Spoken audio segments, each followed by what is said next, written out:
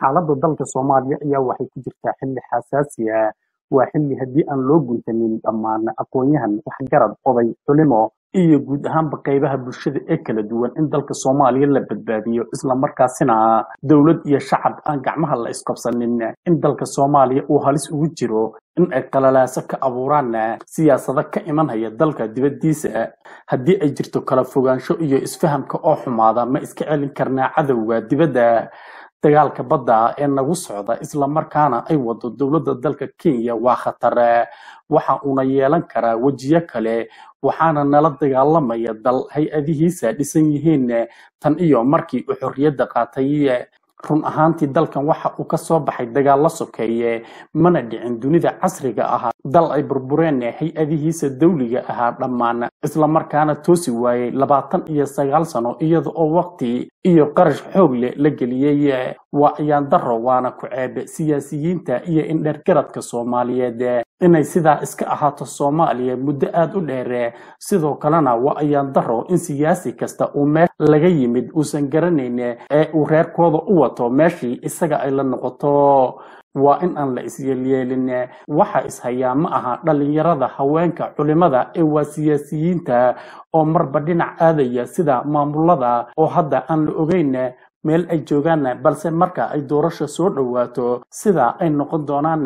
sidoo kale mucaaradka lama yaqaan halka uu jirsan doono iyada oo dowladda dhexdeeda hadda ay iscalman yihiin balse dhowaan aan la ogaan doonin marka doorashada la gaadho sida ay noqon doonaan ma kula tahay in siyaasiyiinta soomaalida kala adkaanayaan aniga ilama ahaan sababtoo ah horay ayay u kala adkaan waayeen waxaana soomaalida ugu wacan ayaan darada haysata in markii hore ay ahaayeen dad miyiga ka yimid hub iska haysta islamarkaana u noolaa sida ay doonaan sidoo kale ma ahaan waxa la isku hayo mabda iyo caqiidooyin waaweyn balse waa siyaasad iyo xildoon adduunyada kale ma jiro dalaal sanad walba dowlad la'aan noolaan kara annaga dad bay sidan ugu badisaa ama daneeya. Dowlad la'aanta waxay ila tahay in dowladda hadda jirta ee madaxweyne farmaajo hormuudka ka yahay ay saaran yihiin mas'uuliyad weyn taasi oo ah kow in dastuurka la dhammaystiro asaga dadka dabri kara laba in dib u heshiisiin iyo isa saamaxaad la bilaabo saddex in laga heshiiyo waxyaabaha la isku hayo afar in arinka doorashada ee labada kun iyo kow iyo labaatanka laga heshiiyo nooceeda iyo qaabkeeda shan in dowladdu aysan inkirin xoogaga siyaasadeed ee jira kolley kolley way aqbali doontaa sababtoo ah ma ahaan wax indhaha laga qarsan karo ama la isgara marin karo. Dalka soomaaliya ayaa wuxuu soo maraya caqabado fara badan iyada oo uu ka soo gudbay qaybo badan oo ka mid ah caqabadihii ugu waaweynaa. Ilaa iyo hadda wuxuu damac kaga jiraa dalka soomaaliya siyaasadiisa in ay faraha kula jiraan wadamo shisheeye kuwaasi oo aan la garanhaynin meel ay u soo maraan waddamada deriska ah ayaa mar walba gacan siyaasada dalka soomaaliya iyaga oo ka dhex wataa danahooda kuna ilaashan haya jiritaanka dalkooda iyo weliba adduunyo iyo xoolo kororsi ay u soo dooran hayaan soomaaliya oo burbursan. Sidoo kale waxaa jira wadamo ay ka mid yihiin carabta kuwaasi oo iyaguna gacanta kula jira siyaasada soomaaliya kuwaasi oo la kala safan siyaasiyiinta iyo madaxda dalka ka jira waxa dowladahaasi oo dhan ama deris ha ahaadaan ama kuwo kale u sahlaya in ay faraha la soo galaan soomaaliya waa siyaasiyiinta soomaaliyeed kuwaasi ayaa loo baahan yahay in ay isku tashadaan ayna si dhab ah uga wada hadlaan mustaqbalka ummadda soomaaliyeed iyo dalkan qaniga ah ee uu ilaahay ku beeray. Haddii aan sidaasi la helin soomaaliya waxay noqon doontaa dhibic adduunka ku taala oo lagu yaqaano in ay tahay meel aan dad lahayn mustaqbalka ugu dambeeyana waxaa la waayi doonaa dadka soomaaliyeed iyada oo ay suurtagal tahay in ay ku beermaan soomaaliya. Dadad kale oo meelo kale ka soo jeeda sidaasina uu ku dhaqan guuro dalkii iyo dadkii soomaaliyeed. Faahfaahino dheeraada ayaa laga helayaa tiro hoobiyayaal ah oo ku soo dhacay dhismaha ku yaalla agagaarka xarunta madaxtooyada soomaaliya iyo xaafado halkaasi ka agdhow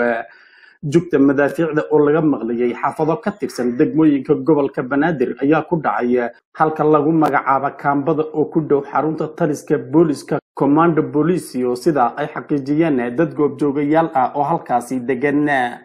sidoo kale hoobiyeyaasha oo gaadhayay ilaa saddex ayaa waxaa mid ka mid ah uu ku dhacay dhismaha safaaradda etoobiya oo ku dhegan wasaaradda warfaafinta soomaaliya. Ilaa iyo hadda inta la xaqiijiyey hoobiyeyaashaasi ayaa waxaa ku dhaawacmay hal ruux oo shacab ah waxaana dad ku sugan goobaha ay madaafiicdu ku soo dhaceen ay sheegeen in ay cabsi soo wajahday kadib markii hoobiyeyaasha ay ku soo dhaceen xaafadahooda ururka al-shabaab ayaa sheegtay mas'uuliyadda weerarkaas madaafiicda ah waxayna sheegeen in ay la heleen safaaradda etoobiya ay ku leedahay villa soomaaliya gudaheeda sida ay hadalka u dhigeen.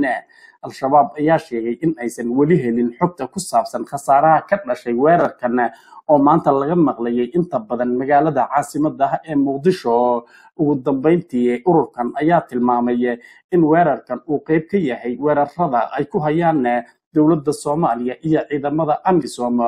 sidoo kale dowladda soomaaliya weli ma aysan ka hadlin weerarka madaafiicda ee lagu qaaday xarunta looga taliya soomaaliya oo ku sugan yahay madaxweynaha qaranka mudane maxamed cabdulaahi farmaajo. Sidoo kale lama xaqiijin hobiyeyaashani halka laga soo ridahayo balse waxay u badan tahay in laga soo riday magaalada caasimada ah ee muqdisho hoobiyeyaasha ayaa waxaa la sheegay tiradoodu in ay ahaayeen ilaa iyo saddex hoobiye iyada oo aan la soo saarin ilaa iyo hadda xaqiiqada weeraradaasi in ay dhaceen mooyeene balse khasaaraha rasmiga ah ee ay geysteen cid dowladda dhankeeda ka socota oo ka hadashayna aysan jirin marka laga tago in hoobiyeyaashan al-shabaab ay sheegatay xaaladda dalka soomaaliya ayaa waxay ku jirtaa xilli xasaasi ah. Waa xilli haddii aan loo guntanin dhammaan aqoon-yahan waxgarad oday culimo iyo guud ahaanba qaybaha bulshada ee kala duwan in dalka soomaaliya la badbaadiyo. Islamarkaasina dowlad iyo shacab aan gacmaha la isqabsanin in dalka soomaaliya uu halis ugu jiro in ay qalalaaso ka abuuraan siyaasado ka imanhaya dalka dibaddiisa. Haddii ay jirto kala fogaansho iyo isfahamka oo xumaada ma iska celin karnaa cadowga dibadda dagaalka badda ee nagu socda islamarkaana ay wado dowladda dalka kenya waa khatar. Waxa uuna yeelan karaa wejiyo kale waxaana nala dagaalamaya dal hay'adihiisa dhisan yihiin tan iyo markii uu xorriyadda qaatay run ahaantii dalkan waxa uu ka soo baxay dagaallo sokeeye mana dhicin dunida casriga ahaa. Dal ay burbureen hay'adihiisa dawliga ahaa dhammaan islamarkaana toosi waayey labaatan iyo sagaal sano iyada oo waqti iyo qarash xoog leh la geliyey. Waa ayaan daro waana ku ceebe siyaasiyiinta iyo indhergaradka soomaaliyeed inay sidaa iska ahaato soomaaliya muddo aada u dheere. Sidoo kalena waa ayaan daro in siyaasi kasta uu meel laga yimid uusan garanayn ee uu reerkooda u wato. Meeshii isaga ay la noqoto waa in aan la isyeelyeelin. Waxa ishayaa ma aha dhallinyarada haweenka culimada ee waa siyaasiyiinta oo marba dhinac aadaya sida maamulada oo hadda aan la ogeyn meel ay joogaan balse marka ay doorasha soo dhowaato sida ay noqon doonaan sidoo kale mucaaradka lama yaqaan halka uu jirsan doono iyada oo dowladda dhexdeeda hadda ay iscalman yihiin balse dhowaan aan la ogaan doonin marka doorashada la gaadho sida ay noqon doonaan ma kula tahay in siyaasiyiinta soomaalida kala adkaanayaan aniga ilama ahaan sababtoo ah horay ayay u kala adkaan waayeen waxaana soomaalida ugu wacan ayaan darrada haysata in markii hore ay ahaayeen dad miyiga ka yimid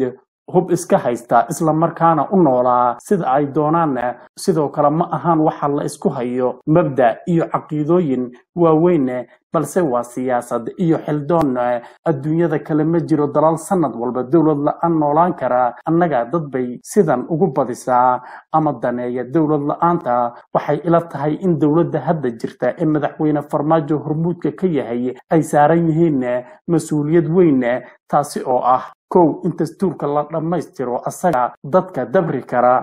laba in dib u heshiisiin iyo isa saamaxaad la bilaabo saddex in laga heshiiyo waxyaabaha la isku hayo afar in arinka doorashada ee labada kun iyo kow iyo labaatanka laga heshiiyo nooceeda iyo qaabkeeda shan in dowladdu aysan inkirin xoogaga siyaasadeed ee jira kolley kolley way aqbali doontaa sababtoo ah ma ahaan wax indhaha laga qarsan karo ama la isgara marin karo. Dalka soomaaliya ayaa wuxuu soo maraya caqabado fara badan iyada oo uu ka soo gudbay qaybo badan oo ka mid ah caqabadihii ugu waaweynaa. Ilaa iyo hadda wuxuu damac kaga jiraa dalka soomaaliya siyaasadiisa in ay faraha kula jiraan wadamo shisheeye kuwaasi oo aan la garanhaynin meel ay u soo maraan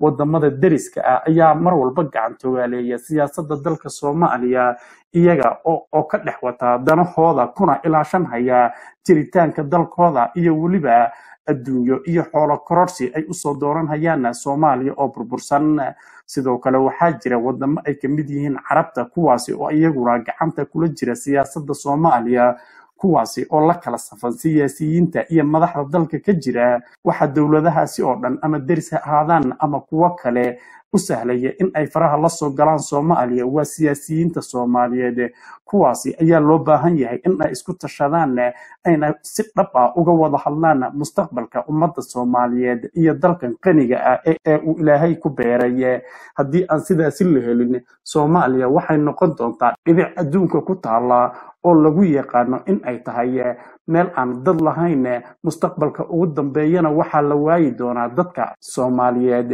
iyada oo ay suurtagal tahay in ay ku beermaan soomaaliya. Dadad kale oo meelo kale ka soo jeeda sidaasina uu ku dhaqan guuro dalkii iyo dadkii soomaaliyeed. Faahfaahino dheeraada ayaa laga helayaa tiro hoobiyeyaal ah oo ku soo dhacay dhismaha ku yaalla agagaarka xarunta madaxtooyada soomaaliya iyo xaafado halkaasi ka agdhow jugta madaafiicda oo laga maqlayay xaafado ka tirsan degmooyinka gobolka banaadir ayaa ku dhacay halka lagu magacaabo kaambada oo ku dhow xarunta taliska booliska commando policio sida ay xaqiijiyeen dad goobjoogayaal ah oo halkaasi degan sidoo kale hoobiyeyaasha oo gaadhayay ilaa saddex ayaa waxaa mid ka mid ah uu ku dhacay dhismaha safaaradda etoobiya oo ku dhegan wasaaradda warfaafinta soomaaliya. Ilaa iyo hadda inta la xaqiijiyey hoobiyeyaashaasi ayaa waxaa ku dhaawacmay hal ruux oo shacab ah waxaana dad ku sugan goobaha ay madaafiicdu ku soo dhaceen ay sheegeen in ay cabsi soo wajahday kadib markii hoobiyeyaasha ay ku soo dhaceen xaafadahooda ururka al-shabaab ayaa sheegtay mas'uuliyadda weerarkaas madaafiicda ah waxayna sheegeen in ay la heleen safaaradda etoobiya ay ku leedahay villa soomaaliya gudaheeda sida ay hadalka u dhigeen. Al-shabaab ayaa sheegay in aysan weli helin xogta ku saabsan khasaaraha ka dhashay weerarkan oo maanta laga maqlayay inta badan magaalada caasimada ah ee muqdisho. Ugu dambeyntii ururkan ayaa tilmaamay in weerarkan uu qeyb ka yahay weerarada ay ku hayaan dowladda soomaaliya iyo ciidamada amisom sidoo kale dowladda soomaaliya weli ma aysan ka hadlin weerarka madaafiicda ee lagu qaaday xarunta looga taliya soomaaliya oo ku sugan yahay madaxweynaha qaranka mudane maxamed cabdulaahi farmaajo. Sidoo kale lama xaqiijin hobiyeyaashani halka laga soo ridahayo balse waxay u badan tahay in laga soo riday magaalada caasimada ah ee muqdisho. Hoobiyeyaasha ayaa waxaa la sheegay tiradoodu in ay ahaayeen ilaa iyo saddex hoobiye iyada oo aan la soo saarin ilaa iyo hadda xaqiiqada